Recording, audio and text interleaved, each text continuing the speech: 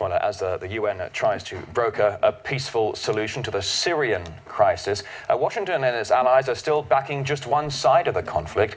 The anti Assad opposition expects even wider recognition and funding from the US led, quote, Friends of Syria group.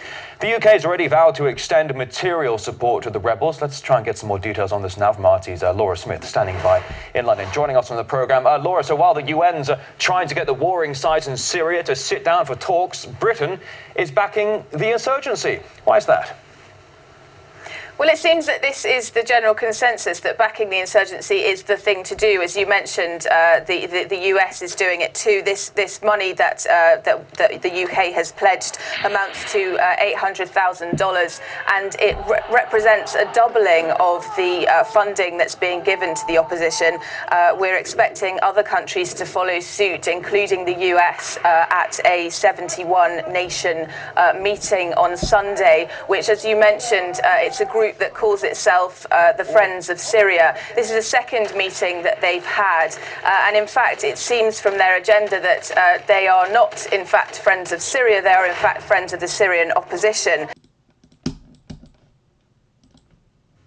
Algerian relatives of Toulouse gunman Mohamed Merah are in disbelief and express doubts over his Al Qaeda links. Merah was killed by police after a 30 hour standoff last Thursday.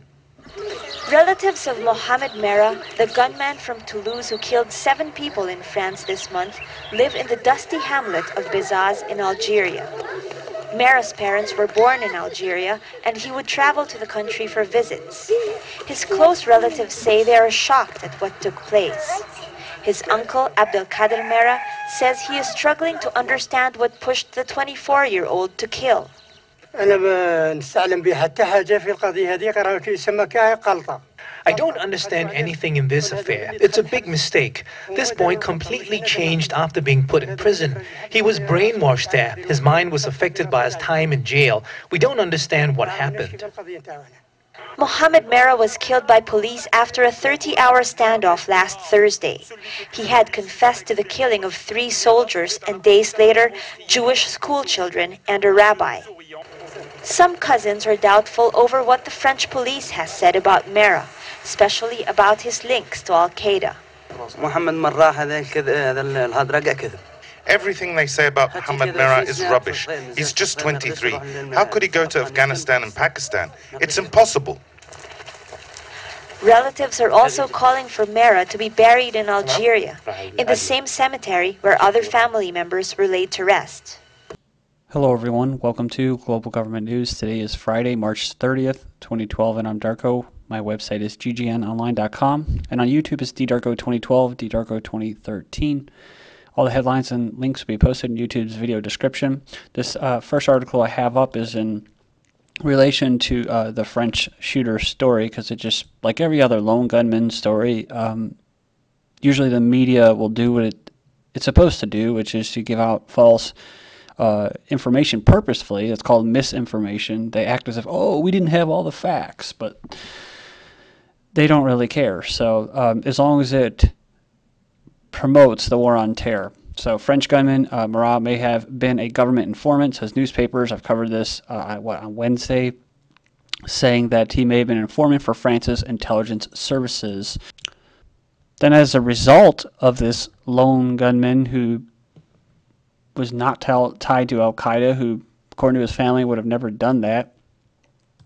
Uh, possibly had an accomplice, just like the Afghan lone gunman. French police swoop nets uh, Islamist militant suspects. I don't like that headline, but either way, it says that uh, it was part of an investigation into French groups that are considered extremists and could pose a threat to the states.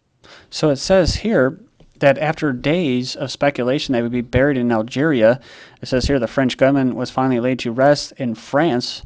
And it goes on and it says that the gunman was finally buried in France on Thursday, the same day that Algeria refused to receive his body, and just hours after the mayor of the city in France had called for a delay, saying a funeral there would be inappropriate. And then it goes on and says that Algeria refused to accept his body on security grounds, so it's kind of a weird twist to it. Another weird twist is this pregnant women to marry uh, dead soldiers. So President Sarkozy has personally approved a posthumous uh, wedding between one of the victims of the Toulouse gunman, uh, Marat, and his pregnant partner. Police discover firearms in U.S. Embassy van in Bolivia. And I don't know if you remember me covering a story about the president, Morales, in Bolivia, uh, recently stated that he would shut down the American Embassy in La Paz if Washington continued to interfere in Bolivia's internal affairs. So basically, trying to get a little false flag going on there in the Bolivian Embassy. So it's here MKO, a terrorist group, is U.S.'s only hope to stop Iran's nuclear program, says New York ex mayor Giuliani. And uh, moving down here, says, I have a feeling that the only thing that will stop Iran and the only thing that will stop Ahmadinejad is uh, if they see strength, if they see power, if they see determination, if they see uh, in America that is willing to support the people that want to overthrow the regime of Iran. He's talking about the Mujahideen uh, terrorist organization. Yeah, that's right. And uh, moving down here, just wait on the computer here, says here that uh, it's part of uh, 49 other groups, including Al Qaeda, on the U.S. State Department's list of foreign terrorist organizations. He's not the only individual to be calling for this, so just so you know. Uh, Iran recently was doing a little exercise. Yeah, that's right. And it says here, they uh, after they assassinated the leader of the Gaza PRC a few weeks ago, it was basically to deliberate, uh, deliberately provoke a Gaza missile barrage, which then, which then allowed them to test their Iron Dome system. Next up, we have America firing off their own little system here. says uh, a laser, or um, basically directed energy weapons from the United States National Ignition Facility at the Lawrence Livermore National Laboratory in California. So go in there and check that out. Then Flashpoint Caucasus, Israel's secret staging ground. They're talking about Azerbaijan. It goes on here and talks about a memo that was released by WikiLeaks. Quotes the president of Azerbaijan is describing his country's relationship with the Jewish state as an iceberg. Nine tenths of it is below the surface. Remember, they just sent them or sold them some weapons, Israel, that is. U.S. hoping Turkey will reduce imports from Iran. So the ambassador to Turkey says Washington expects Ankara to abide by the recent sanctions on Iran and significantly reduce its oil imports. So other countries like uh, India and them aren't even really complying with that. So it says here, uh, Greek Israeli energy access. Three countries agreed to enhance their cooperation. They agreed on Wednesday to deepen their energy cooperation and discovery of considerable reserves of hydrocarbons in the Israeli and Cypriot exclusive economic zones, or blocks, as they call it. Then moving on, Greece joins Israel, USA military exercise in southern Mediterranean. So they're just going there to uh, secure their oil reserves, right? Or energy reserves. Five killed in U.S. drone strike in Yemen. So I don't know if you remember me in the last set of videos, I covered some uh, news in Yemen saying that that was basically uh, next on the docket saying what? Here's some of the headlines. U.S. envoy claims Iran helps Yemeni rebels. Uh, rebels. So kind of some propaganda, right? Then malnutrition increasing in some parts of Yemen. So get ready for a humanitarian corridor and bombs to be dropped on the uh, Yemenis. Then Yemenis stage anti-regime protests because, well, there's still um, remnants of the old regime still in there. Uh, Yemeni soldiers rebel against the generals of the army, so people know what's up over there. And it says here, Saudi deputy consul kidnapped in southern Yemen. That's right. So he's visiting, and he was kidnapped. So a lot of stuff going on there, and they got high prices and stuff like that. So it's uh, like I said, it, you could see some some more news on Yemen. Arab Spring brings steep rise in U.S. attacks in uh, in Yemen. At least 26 U.S. military and CIA strikes involving cruise missiles, aircraft, drones, or any other form of killing has taken place in the volatile Gulf nation to date, killing hundreds of alleged militants linked to uh, the government's own terrorist network, Al Qaeda, but at least 54 civilians have died too. Moving on here, and that's really good for public relations and, and relations with other countries too, like in Pakistan. Pentagon, all U.S. elite commandos in Mali are accounted for. So the Pentagon confirms that they do have special uh, operation forces personnel in the country and they've seized all activity, i.e., regime change. So if they don't use terrorist groups, then they just go ahead and use their special forces groups. Mali coup and new step towards global resources grabs, and they're talking about in Africa between China, the East, and the West. Uh, battling over uh, Africa's re, uh, resources. Amphibious landing drill, joint U.S. South Korean forces. The U.S. and South Korean troops staged an amphibious landing operation as part of a joint military maneuver. It took place on Thursday, and around 13,000 U.S. sailors and Marines are taking part in the drill, along with 2,000 South Korean military personnel. This is about uh, basically securing the Asian trading economic bloc, uh, make sure that China is, uh, is on board with it. So we have here Sweden, Finland to take part in NATO's Baltic airspace exercise. So NATO forces will hold its 11th airspace policing exercises uh, in the Baltic skies on March 27th and 28th in conjunction with Finnish and Swedish air forces. Now, why is this important? Well, let's check this out. NATO member nations should share military systems. Oh, great idea. So it says here these Phantom jet fighters under NATO controlled streaked off the runway at the former Soviet air base in Lithuania this week in response to a report that an aircraft had lost communications as it neared Finnish airspace. But it was all an exercise, a simulation. But it goes on here and it says, uh, with one point beyond mere rehearsal, NATO officials hope that at a summit in Chicago this May, which was supposedly canceled because they were scared about uh, all the protesters that were going to rain down on them. But I don't know. Apparently, Rahm Emanuel uh, just stocked up on a bunch of helmets and riot gear, so I guess they got the green light with it. Member nations will put aside concerns over sovereignty and agree in principle to create joint defense capabilities. So kind of like AFRICOM, NORTHCOM. North American Union.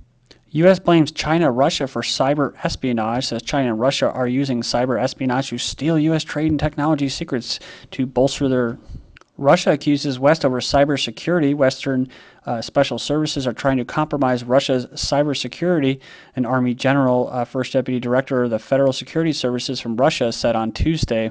So, Russia is considering setting up a dedicated cybersecurity command responsible for protecting the armed forces' information systems, which may be true, but I think in the long run, uh, they they're all one big intelligence uh, information sharing uh, agencies. So Georgia and World Bank signed uh, financing and loan gre- agreements as today. Well, it's not really today, but March 22nd. The financing and loan agreements of the project of maintenance rehabilitation of internal and local roads were signed between Georgia and the World Bank. The total cost is 70 million US dollars. Then we have IMF to allocate 390 million dollars to Georgia if necessary. So the IMF mission and Georgia government have reached an agreement on a 24-month program and credit lines and credit mechanisms to be allocated to Georgia. Minister EU mission in Georgia contributes to preserving peace in the region. So defense minister thanked the mission member for providing the international community with objective information about the situation in the country, i.e., giving up their sovereignty again. EU, US refused to recognize elections in South Ossetia, and the high representatives reiterate their support for territorial integrity and sovereignty of Georgia as recognized by international law. Medvedev of Russia says military to counter the U.S. military shields in the Europe and that. Japan prepares for North Korean rocket launch, and the only reason they're doing this is because, well, they're in the West and they're European Illuminati's hands, so they just say, okay. Kind of goes in line with this. Obama makes slip on open mic. Was it a slip? I don't know. You never know when these things are planned. But we know these guys are both puppets, right? This is my last election. After my election, I'll have more flexibility. So we kind of already knew that he was probably going to get reelected just based off the Republican uh, elections and that but some of the Republican neocons will criticize him for, you know, oh, you can't be trusted with sec- uh, secrets and all that. Well, it's a big game. Remember this? U.S. Russia resetting the reset button, right? So they're going to have the reset button, which means they're going to reset the uh, the nuclear race or the arms race or the basically the Cold War again. They're going to start it again. So this is what it's all about in the end, I basically see Russia uh, becoming up, uh, basically becoming stronger out of this. But that's the point. So, can the BRICS create a new world order? Brazil, Russia, India, China, and South Africa seek a multipolar world, but some argue they're bound by anti-Americanism. So again, it's just the crap that they put out there. Anti-Americanism. They all probably are part of uh, some kind of global uh, roundtables and that. So private uh, decision making. Australian globalist Senator Bob Brown calls for world government the world should be ruled by a new global parliament under the auspice of the United Nations. So the trick is is what? Is that it's already in place. Just the people, the taxpayers, they, they aren't aware of it yet, the voters. UN policy paper outlines seven building blocks for heavy handed world government. And when you go down there, the first one is what? Ooh, consolidating global agencies. integrating sustainable development to the local level, i.e., Agenda 21, bringing emerging technologies under global control. They're talking they're talking about geoengineering, i.e. chemtrails, but I think they're talking about the internet right there. Lastly, the creation of a global legal and economic framework. Canada, Mexico, US enhance defense cooperation, so they use it as defense, security, and the economy. And beyond the border, a shared vision of security and the economy.